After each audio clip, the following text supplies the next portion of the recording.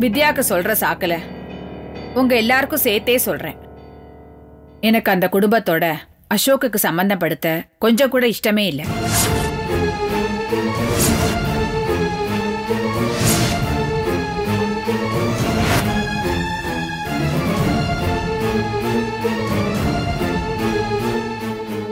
அத்தை? நீ குறுக்க பேசாத வித்யா. இஷ்டம் இல்லனா இஷ்டம் இல்லதான். ஒரு விஷயம் மனசுக்கு பிடிச்சதுன்னா ரெண்டாவது யோசிக்காம பளிச்சுன்னு படப்பட இந்த காரியத்துல இறங்கிடுவோம். என்னவோ தெரியல. என்னால அசோக் கூட்டிட்டு வந்த அந்த பொண்ணு விஷயத்துல மட்டும் அந்த மாதிரி ஒரு முடிவே எடுக்க முடியல. என் மனசுக்கு பிடிக்காத ஒரு காரியத்தை நான் அவனுக்கு செஞ்சு வைக்க விரும்பல. எப்படியாவது இந்த கல்யாணத்தை ஒரு வழியா நிறுத்த முடியுமா நானும் நினைச்சுக்கிட்டு இருந்தேன். சுபு நீ பேசுறது உனக்கே நியாயமா இருக்கா? நியாயம் அநியாயம் பத்தியெல்லாம் நான் நினைக்கலம்மா. ஆனா குறைஞ்சபட்சம் என் மனசாட்சிக்கு நான் நேர்மையா இருக்கணும்னு நினைக்கிறேன். அந்த பொண்ணு வேண்டான்னு என் மனசுல பட்டுது. ஆண்டவனா பார்த்து வித்யா மூலமா அதை தடுக்கிறதுக்கு ஒரு வழி பண்ண மாதிரி தான் எனக்கு தோணுது. அந்த விதத்துல வித்யாவுக்கு நான் நன்றி தான் சொல்லுவேன். சுப்பு நான் இதைத்தாம்மா எதிர்பார்த்தேன். இதை தவிர வேற எந்த மாதிரி எனக்கு யோசிக்க முடியல மாமா.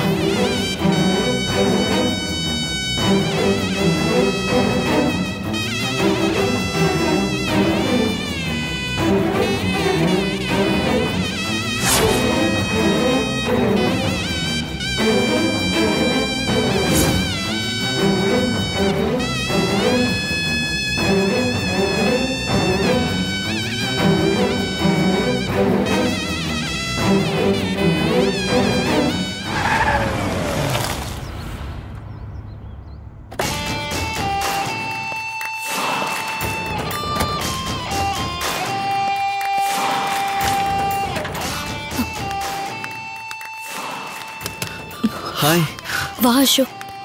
ஸ்வேதா? உனக்காக தான் வெயிட் பண்ணிட்டு இருக்கேன். என்னாச்சு? ஏன் டென்ஷனா இருக்க? என்ன? வரேன்னு சொல்லிட்டு நான் என்ன வராமையே போக போறேன்? ஆ? அப்படி இல்ல. சரி வா சொல்றேன் வா. ஏய். வணக்கம் சாமி. ஆ, நல்லா இருக்கீங்களா? நான் நல்லா இருக்கேன். ஆ, சாமினா எல்லாரும் ரெடியா இருக்காங்கல்ல? எல்லாரும் ரெடியா இருக்காங்க. வாங்க. வாங்க சாமி. வா.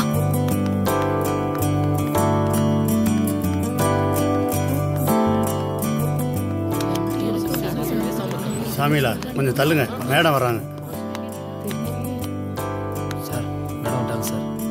வா. வணக்கம் மேடம். வாங்க சாமி. இவர் mister Venkatesan marketing manager. Mister Nandakumar. PRO.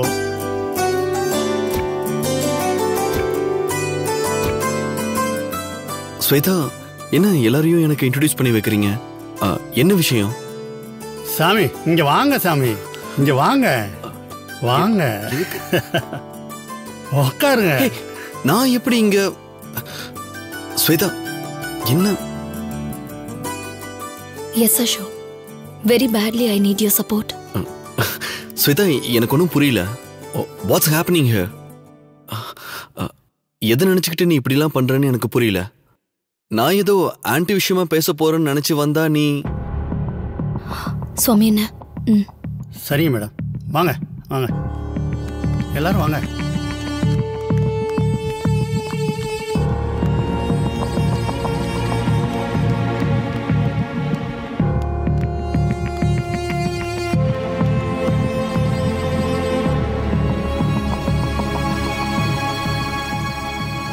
எனக்கு எப்படி சொல்றதுனே தெரியல Ashok. At least fifteen twenty days ஆகுது. இந்த ஆஃபீஸ் பக்கமே என்னால வர முடியாம போயிடும் போல இருக்கு. அதுக்காக டோன்ட் திங்க் செல்ஃபிஷ் எனக்கு யாரும் இல்லைன்னு தான் உன்கிட்ட கேக்குறேன். நான் இல்லாத நேரத்துல என் ஆபீஸ யாரு பாத்துக்குவா சொல்லு? எனக்கு நிஜமாவே புரியல. ஏன் உனக்கு என்னாச்சு? You planning to go somewhere இல்ல அசோக். நேத்து நடந்த சம்பவத்துக்கு அப்புறம் வீட்ல பெரிய பிரச்சனை ஆயிடுச்சு. அப்பாவுக்கும் அம்மாவுக்கும் பெரிய சண்டை. எப்படி நான் அவங்கள காம்ப்ரமைஸ் பண்ண போறேன்? எப்படி அவங்களுக்கு சொல்லி புரிய வைக்க போறேன்னு? எனக்கு ஒண்ணுமே புரியல. மைண்டு பைத்தியம் பிடிக்கிற மாதிரி இருக்கு. இந்த மாதிரி சுச்சுவேஷன்ல ஆஃபீஸையும் சேர்த்து கவனிச்சுக்கிறதுனா பிராக்டிக்கலா என்னால முடியவே முடியாது. ஐ மீன் மல்டி டாஸ்க் எதுவும் நான் பழகினதில்ல. என்ன பண்ணலான்னு ரொம்ப கவலையா இருக்கு. அதான் உன்னை வர சொல்லி உன்கிட்ட பொறுப்பை கொடுக்கலாம்னு நினைச்சேன். இதான் மேட்ரா. நான் கூட என்னமோ இதுன்னு பயந்தே போயிட்டேன். விடு. என்ன ஒரு 15 டுவெண்ட்டி டேஸ் தானே? That's okay I can handle it thanks Ashok. Thanks a lot. எங்க நீ ஒத்துக்க மாட்டியோன்னு சொல்லிட்டு நான் எவ்வளவு பயந்துட்டு இருந்தேன் தெரியுமா? ஸ்வேதா உனக்கு ஒரு ஹெல்ப்னா நான் பண்ணாம இருப்பனா? அப்படி இல்ல. வந்து சாரி உனக்கு என்னால ஜாயிண்ட் டைம் கூட தர முடியாது சரியா? நீ இப்பவே பொறுப்பை ஏத்துக்கணும். ஹேய் என்ன விளையாடுறியா? திடீர்னு வர சொன்னீங்கன்னு நான் வண்டிலாம் எடுத்துட்டு வந்துட்டேன். நான் வேற ஒன் ஆர் டூ ஹவர்ல வீட்டுக்கு வந்துருவேன்னு சொல்லியிருக்கேன். அவங்க வேற எதிர்பார்த்துக்கிட்டே இருப்பாங்க. இருபது நாள் மட்டும் நான் சென்னையில டேரா போட்டேன்னு வெய்யேன் வீட்ல டோட்டலா டென்ஷன் ஆயிடுவாங்க. ப்ளீஸ் அசோக் ஆ சரி நான் ஒன்று பண்றேன்.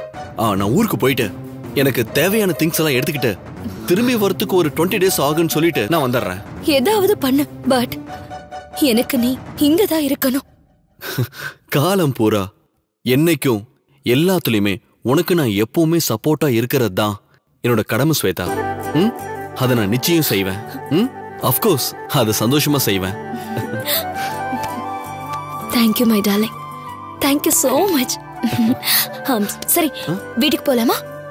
வீட்டுக்கா? எதுக்கு? வா சொல்றேன். வா. கம்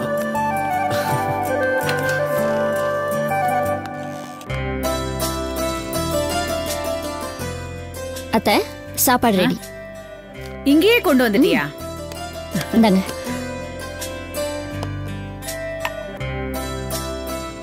அட மோர்களி. என்ன இன்னைக்கு ஸ்பெஷல்? சாப்பிட்டு எப்படி இருக்குன்னு சொல்லுங்க. நல்லா இருக்கா? சூப்பர். எவ்வளவு நாளாச்சு தெரியுமா அது சாப்பிட்டு?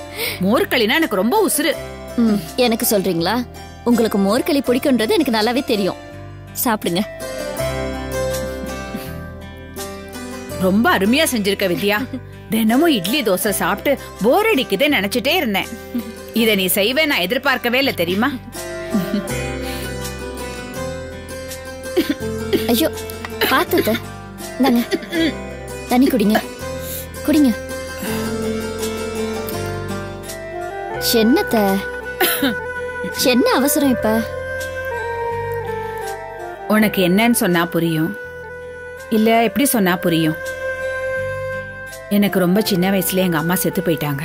நான் வளர்ந்ததெல்லாம் அண்ணா அண்ணி கூட தான் ஆறு வயசு வரைக்கும் தான் எங்க அம்மா கூட இருந்தது எனக்கு ஞாபகம் இருக்கு. அப்ப எங்க வீட்டுல அரிசி சாப்பாடுங்கிறது எப்பவாவது தான் கிடைக்கும். எங்க அப்பா ரேஷன் கடையில இருந்து வீணான அரிசியெல்லாம் பொறுக்கிட்டு வந்து எங்க அம்மா கையில கொடுப்பாரு. அம்மா அதை வச்சு மோர்களி கிண்டுவாங்க. அரை துண்டு எலுமிச்சம் துண்டை வச்சுக்கிட்டு அந்த மோர்களிய சாப்பிட்ட நாள் தான் இப்ப எனக்கு ஞாபகத்துக்கு வருது. சின்ன வயசுல வயிற்று பசி தீக்கிறதுக்காக அம்மா அந்த களியை கிண்டுவாங்க. ஆனா அந்த ருசி இப்ப வரைக்கும் எனக்கு எங்கேயுமே கிடைக்கல. இவ்வளோ வருஷம் கழிச்சு நீ மறுபடியும் அந்த மோர்களியை கிண்டிருக்க எங்க அம்மா கையால சாப்பிட்ட மாதிரியே இருக்கு. நிச்சயமா உங்க அம்மா கைப்பக்குவம் எனக்கு வராது. ஆனா உங்களுக்கு நான் வேண்டப்பட்டவ உங்க மனசுக்கு என்ன பிடிக்கும்? பிரியத்தை நம்ம யார் மேல வைக்கிறோமோ அவங்க எது செஞ்சாலும் நல்லா இருக்கிற மாதிரி தான் தோணும். ஒரு தடவை பிரிய வச்சுட்டா அது திரும்ப எடுக்க தோணாது. நான் சொல்ல வர்றது புரியுதா? இது களியோட ருசி இல்ல உங்க மனசோட ருசி. எப்படி பேசுற? என் கண்ணே பட்டுடும் போல இருக்கு. பிராக்டிக்கலா யோசிச்சு பார்த்தா ஒருத்தவங்க மேல நம்ம வைக்கிற பிரியம் தான் சாகிற வரைக்கும் நம்மளோட அடையாளமா இருக்கிறது. இப்ப அசோக் எடுத்துக்கங்க. ஸ்வேதா மேல அவர் வச்சிருக்கிற பிரியத்தை அவர் எவ்வளவு ட்ரை பண்ணாலும் வார்த்தையால கட்டி கோத்துற முடியாது. நாம எவ்வளவு முயற்சி பண்ணாலும் அவர் மனசு அப்படியே புரிஞ்சுக்கவும் முடியாது. ஆனா அது பெரிய நிஜம். அது கொடுக்கற சந்தோஷமும் நிஜம். தன்னோட வாழ்க்கை அவளோட இணைஞ்சா நல்லா இருக்கும்னு என்னைக்கு அவர் நினைச்சாரோ அவர் சந்தோஷமா இருக்கணும்னு நினைக்கிற நாமளும் அதே தானே நினைக்கணும். அத்தை. இதுக்காக தான் மோர்களியை கிண்டி கொண்டு வந்தியா? ஐயோ அப்படிலாம் இல்ல அத்தை. என்ன பேசுறீங்க நீங்க? நீங்க முதல்ல சாப்பிடுங்க. இது எனக்கு பிடிக்கும் தான் ஆனா இது இல்லாம என்னால வாழ முடியும். இந்த வீட்ல மத்தவங்களுக்கு இது பிடிக்கலனா இது சமைக்காத செய்யாத நானே சொல்லுவேன். இத கொடுத்து அத சரி பண்ணணும்னு நினைக்கிறியா? அ- ஐயோ ஏன் அத்தை இப்படிலாம் பேசுறீங்க? இதுவும் அதுவும் ஒண்ணா? இதுவும் அதுவும் ஒண்ணு இல்லதான். ஆனா மொட்டை தலைக்கு முழங்காலுக்கு முடிச்சு போடுற பாத்தியா? நான் சொல்ற விஷயத்தை பிடிச்சு என்னையே மடக்க பார்த்த இல்ல? இதானே வேணான்றது. நான் ஒன்றும் உங்களை மடக்கலாம் பார்க்கல. அசோக் ஆசைப்படுற பொண்ணை அவருக்கு கட்டி வச்சா என்ன தப்புன்னு நேரடியாவே கேக்குறேன். வேண்டா வித்யா இந்த பேச்சை இதோட விட்டுரு. எனக்கு பிடிக்கல. அத்தை ப்ளீஸ். கண்மூடித்தனமா பிடிக்கலன்னு ஒத்த வார்த்தையில முடிச்சிட்டு போனோன்னு நினைக்காதீங்க. ஸ்வேதாக்கு என்ன குறைச்சல்? அழகு இல்லையா அறிவு இல்லையா அந்தஸ்து இல்லையா? இது எல்லாத்தை விட அசோக்குக்கு அவளை பிடிச்சிருக்கு. அதுதானே நமக்கு முக்கியம். எனக்கு பிடிக்கணும். அவனுக்கு பொண்டாட்டியா மட்டும் இருந்துட்டு போறதுன்னா அவனுக்கு பிடிச்சா போதும். எனக்கு மருமகளா இருக்கணும்ல? அப்ப எனக்கும் பிடிக்கணும்ல? அவளை எனக்கு பிடிக்கல. அத்தை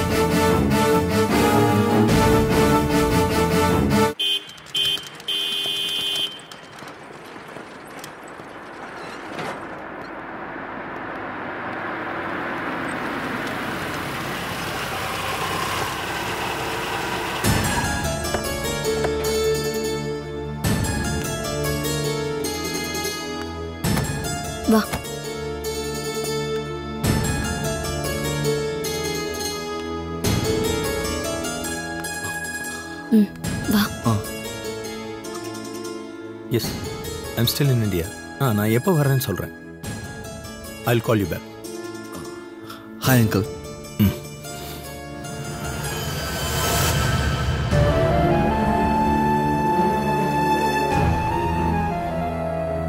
sorry aunty அன்னைக்கு அங்க நடந்த சம்பவத்துக்கும் எனக்கும் எந்த சம்மந்தமும் கிடையாது. Please try to understand uncle என்னை பற்றி தான் உங்களுக்கு நல்லாவே தெரியும்ல. சின்ன விஷயமா இருந்தால் கூட யாருக்கும் மனக்கசப்பு வரக்கூடாதுன்னு நினைக்கிறவனா பட் மொத மொத நீங்கள் எங்கள் வீட்டுக்கு வந்திருந்தப்போ உங்களுக்கு இந்த மாதிரி ஒரு I am extremely sorry uncle in fact வித்யாவே அந்த மாதிரி பேசிட்டு போனதுக்கப்புறம் தான் தான் பேசினது ரொம்ப தப்புன்னு வருத்தப்பட்டா. குறிப்பா உங்ககிட்ட அவ சாரி கேட்டுக்கிட்டா. ஐ கேன் அண்டர்ஸ்டாண்ட் எனக்கு வேற என்ன சொல்றதுன்னு தெரியல. நீ எதுவும் சொல்ல வேண்டாம் அசோக். என் பொண்ணு முதல் முதல்ல வாயை திறந்து நான் ஒருத்தனை ஆசைப்படுறேன்னு சொன்னப்ப எனக்கு ரொம்ப சந்தோஷமா இருந்துச்சு. சின்ன வயசுல இருந்து இவ எது மேலயும் ஆசைப்பட்டு எதுவுமே கேட்டதில்ல. அண்ட் கோர்ஸ் இவ கேக்குற வரைக்கும் நாங்க எதுவும் செய்யாமலும் இருந்ததில்ல. என் பொண்ணு ஆசைப்பட்டாங்கிற ஒரே ஒரு காரணத்தினால உன்னை நாங்க எந்த விஷயத்திலையும் தப்பா நினைக்காமலும் இருக்க முடியும் தப்பா நடந்துக்காமலும் இருக்க முடியும். ஆனா உன் வீட்டுல ஹ, சரி விடு. புரியுது ஆண்டி? வித்யா எங்க வீட்டுல வேலை செய்யற பொண்ணுதான். பட் சின்ன வயசுல இருந்து அவ அங்கேயே இருக்கிறதால அவளை யாரும் வித்தியாசமா பார்க்க மாட்டாங்க. அன்னைக்கு ஏதோ அவ உணர்ச்சி வசப்பட்டு அப்படி பண்ணிட்டா. ஆனா இன்னொரு தடவை அந்த மாதிரி எதுவும் நடக்காத ஆண்டி? நான் தான் பரவாயில்ல விட்டுருன்னு சொல்றேன்ல. என் பொண்ணு உன்னை விரும்பிட்டா. அதனால எல்லாத்தையும் பொறுத்துட்டு போறேன். இல்லனா நடந்த அவமானத்துக்கு நான் ரியாக்ட் பண்ற விதமே வேற மாதிரி இருக்கும். மம்மி ப்ளீஸ் கல்யாணத்தை பத்தி கவலைப்படாத அசோக். அது நடக்கும். உனக்கும் ஸ்வேதாவுக்கும் நீங்க ஆசைப்பட்ட மாதிரி கல்யாணம் நடக்க தான் போகுது. பட் அதுக்காக எல்லாத்தையும் மறந்துடுவேன்னோ மன்னிச்சிருவேன்னோ எதிர்பார்க்காத. அசோக் நீ உட்காரு நான் காஃபி எடுத்துட்டு வரேன். ஓகே ஆண்டி அசோக் நீ போய் உட்காரு ம்.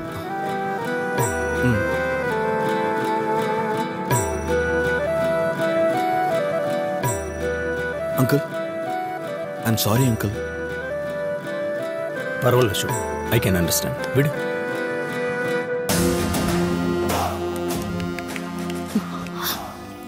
எதுக்கு மம்மி? காஃபிக்காக நீங்க வரீங்க? சொன்னா கொண்டு வர போறாங்க? நான் காஃபிக்காக வரல ஸ்வேதா. வீடு உனக்கு புரியாது.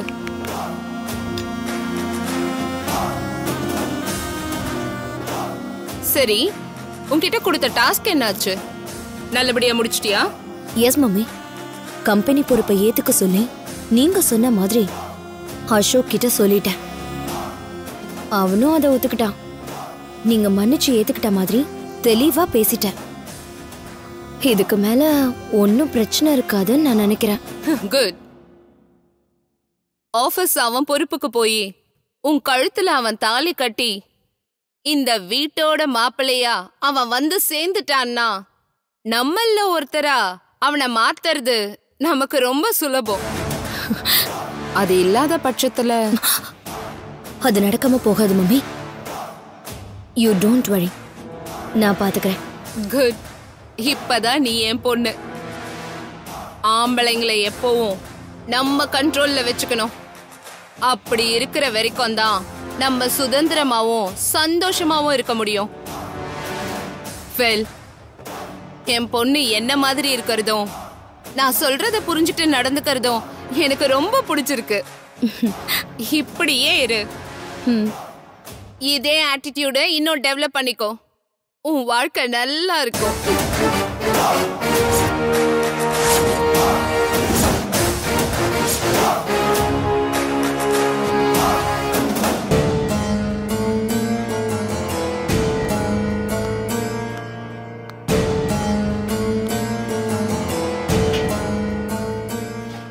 அம்மா? அம்மா? அக்கா கிச்சன்ல இருக்கோம் நானும் அம்மாவும்.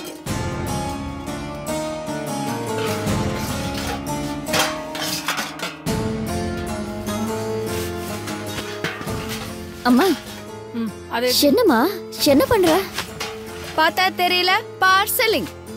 எதுக்கு? வித்யா இனிமே நம்ம இந்த ஊர்ல இருக்க வேண்டாம். காலி பண்ணிட்டு வேற எங்கேயாவது போயிடலாம். என்னக்கா நினைச்சிட்டு இருக்க நீ உன் மனசுல? நேத்து அவ்வளோ பெரிய கலாட்டா நடந்திருக்கு இனி காலை ஒண்ணுமே நடக்காத மாதிரி வேலைக்கு போறேன்னு சொல்லி கிளம்பி போறியா? அம்மா எவ்வளவு வருத்தப்பட்டாங்க தெரியுமா? ஓஹோ அதுக்காக தான் திருட மாதிரி பொட்டி படிக்கெல்லாம் கட்டிட்டு வெளியூருக்கு போயிடலான்னு பிளான் பண்றீங்களா? திருட மாதிரி போகணும்னு அவசியம் இல்லை வித்யா. ஆனா திரும்பி பார்க்காம போயிடணும். அதுதான் என் பாயிண்ட் ஏம்மா இப்படி இருக்க? என்ன ஆச்சு உனக்கு? நான் தான் நடந்ததெல்லாம் மறந்துட்டு வேலையை பண்ண சொன்னேன்ல. நீ சொல்லிடுவடி. ஆனா எதை மறக்க முடியும்? கேவலம். நானும் ஒரு சராசரி மனுஷ ஜென்மம் தானே?